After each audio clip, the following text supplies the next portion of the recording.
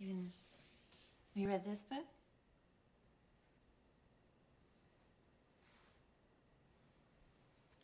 Well, I know college kids who couldn't wade through this one. Pick a page. 216.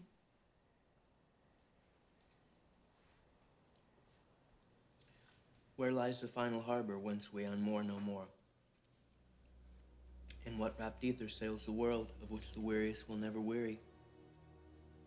Where is the foundling's father hidden?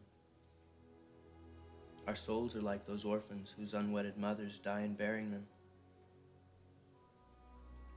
And the secret of our paternity lies in their grave. And we must dare to learn it.